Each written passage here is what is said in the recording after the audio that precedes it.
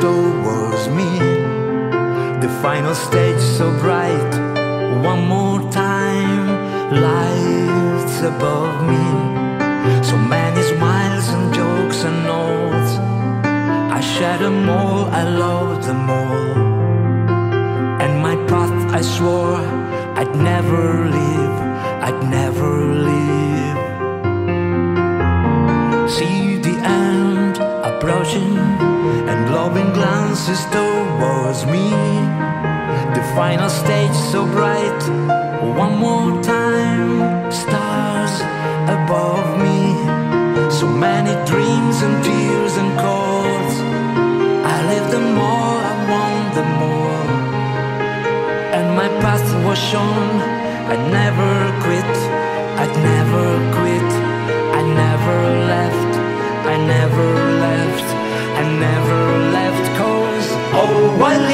it all to the core. I lived it on and on and by myself. I lived it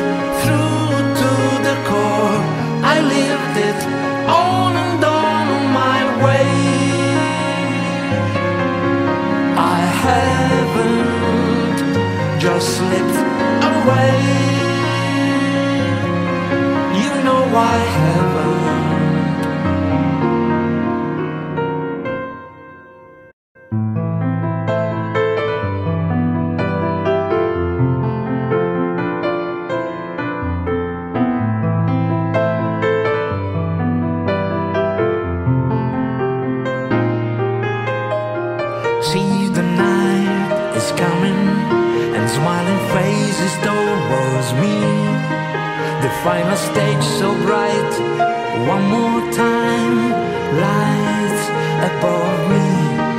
So many dreams and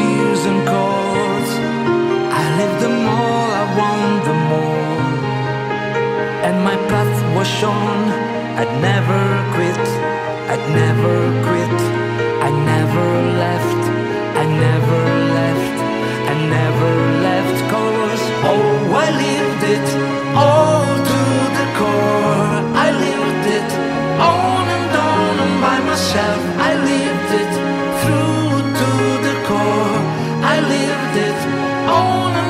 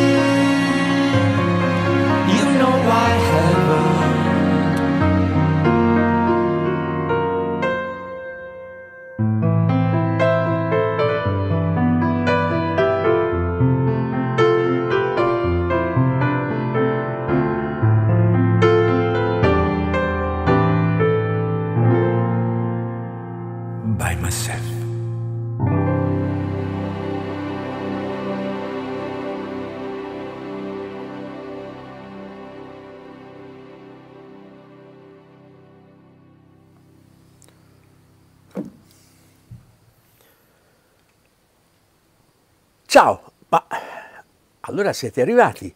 Io vi avevo detto estate con me e voi siete arrivati qua e state passando la prima serata di questa estate con me. Io sono felicissimo, adesso mi libero degli earphone, Ah, un attimo solo, eh, che poi vi devo raccontare l'aneddoto. Eccolo qua.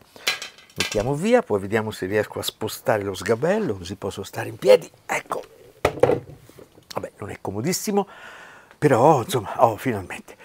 Dunque, allora, la cosa più bella è che ci siete, non so quanti siete adesso, lo scoprirò domani, però mi fa piacere comunque che voi siate qui perché avete non obbedito, avete sentito il mio grido di aiuto, state con me per farmi compagnia e lo avete fatto.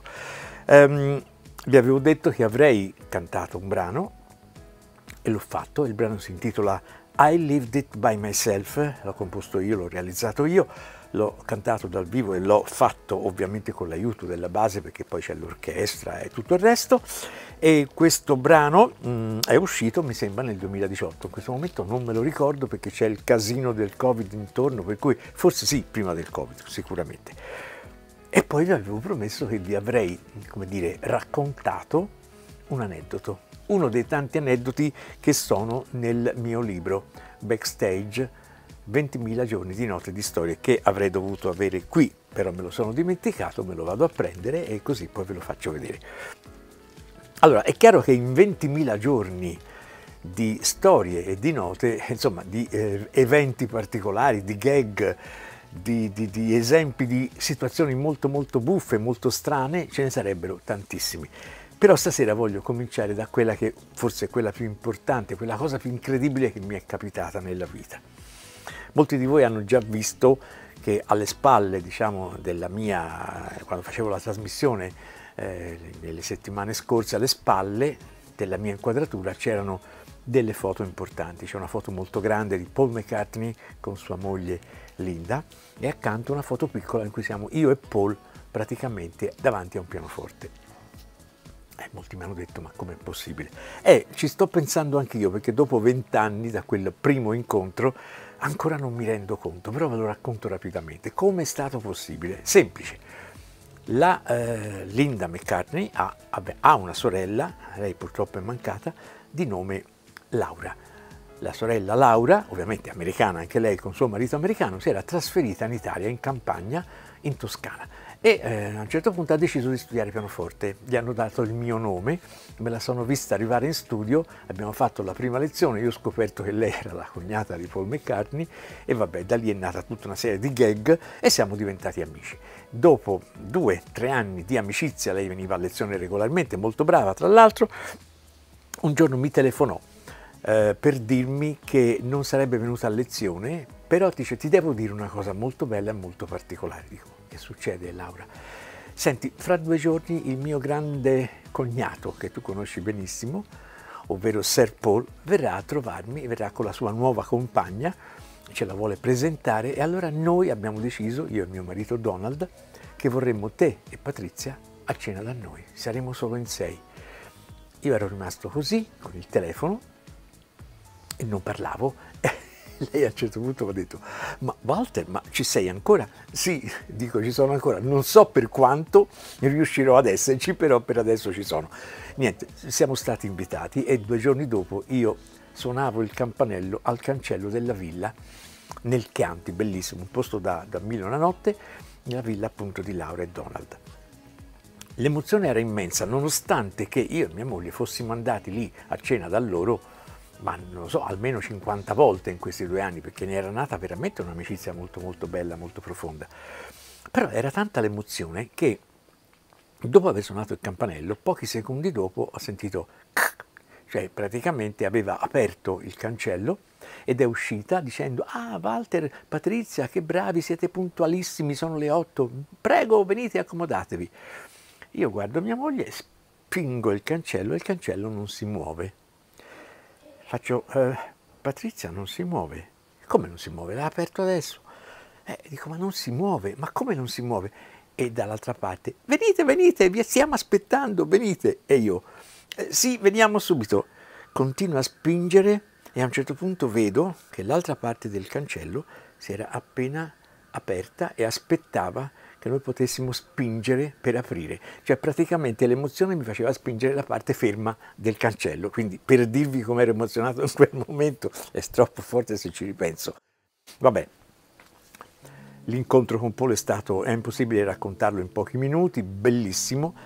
io ero talmente emozionato che a un certo punto in inglese gli ho detto Paul scusami il mio inglese stasera non sarà assolutamente buono perché sono così emozionato non riesco nemmeno a parlare e lui mi ha detto caro Walter guarda sicuramente il tuo inglese è migliore del mio italiano E io volevo dire, per forza è molto più facile per noi italiani. Vabbè, e allora a questo punto, mh, a un certo punto, mentre eh, le, le signore parlottavano fra di loro, lui mi ha preso a braccetto mi ha detto andiamo a fare un aperitivo e siamo andati a prendere un aperitivo eh, lì in, dove c'era la piscina, una piscina meravigliosa e abbiamo cominciato a parlare di musica. Io credevo di essere in un sogno naturalmente. Poi c'è stata la cena all'aperto eh, bellissima, dove Paul raccontava tutte le cose dei Beatles, le cose che lui ha vissuto con il suo amico John Lennon, eccetera, eccetera. E io quando mangiavo rimanevo a bocca aperta, sapete come i bambini, no? quando rimangono così a, a bocca aperta e non continuano a masticare. No? Ecco, io ero uguale, ero un bambino ed ero, ero sempre l'ultimo che finiva di mangiare. Ero sempre l'ultimo. E lui aspettava che io finissi, si alzava da tavola mi prendeva il piatto e lo portava via. Nel frattempo mia moglie, che era accanto, mi dava delle grandi pedate dicendomi ma è lui che ti porta via il piatto, ti rendi conto? E dico Patrizia che devo fare? Eh, eh, sono emozionatissimo.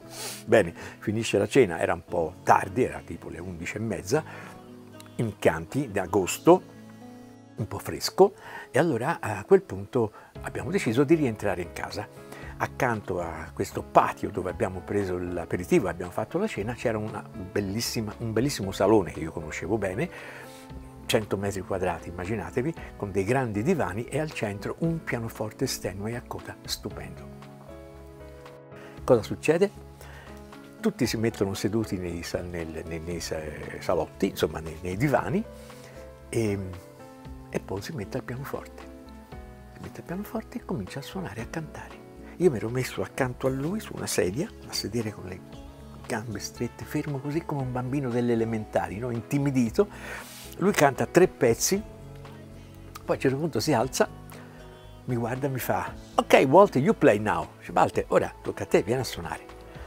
Ah, io mi metto al pianoforte e in quel momento dovevo decidere quale dei suoi 500 o 600 pezzi che ha scritto avrei dovuto suonare con la paura poi di suonare quei brani, sapete, no? ci sono quei brani che poi invece gli artisti non ne possono più, no? perché li devono cantare da sempre. Allora ho scelto così, come mi dettava proprio la mia coscienza, ho scelto Here, There and Everywhere. Non sapevo che è la canzone che lui ama di più. Sono un uomo fortunato, vi garantisco. Va bene, mi sono messo al pianoforte, ho cominciato a suonare Here, There and Everywhere e dopo 30 secondi lui si è messo a sedere accanto a me nello stesso sgabello e, e, mentre io cantavo e suonavo lui mi ha cominciato a fare la doppia voce, praticamente lui faceva il coro, mi faceva il corista. E io stavo per svenire. Ecco, questa è stata la nostra serata, il nostro incontro che è andato avanti fino alle 3 del mattino e poi c'è una gag bellissima che ve la devo dire. Allora, alle 6 del mattino decidiamo di andare via e Paul mi dice, Walter stai bene, se no puoi rimanere a dormire qua, devi fare molti chilometri. No, dico, guarda, non, non preoccuparti, va tutto bene. Ok, allora prende il limoncello e sta per versarmi ancora un po' di limoncello, che avevamo già bevuto abbastanza. Patrizia fa, Walter, ma no, dai, non, non bere ancora, dai, dobbiamo partire. Lui capisce questa cosa, la guarda con il limoncello in mano e le fa, Patricia, please, more limoncello for Walter. Io ho guardato mia moglie. Se lo dice lui, lo posso bere. E a questo punto ho bevuto l'ultimo bicchiere di limoncello e poi siamo partiti.